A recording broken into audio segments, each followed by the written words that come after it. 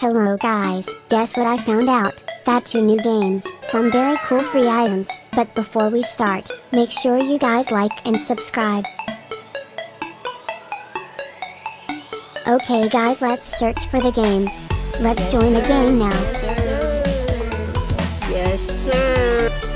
Okay guys to get the first free item, you have to get 20 points in the training area. Now follow where I go.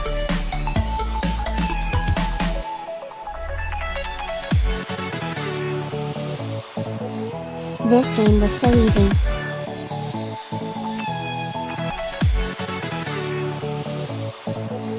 Once you get done, the item will be in your inventory. This is the item. A very cute tennis ball head. Okay guys to get these next 3 items, you have to join this game. Okay let's search for the game. Let's join the game. Okay guys, to get the free items you have to buy them for free. First click on the shopping cart, then just click on the items, to get them. These are all the items together, these are some very cute items.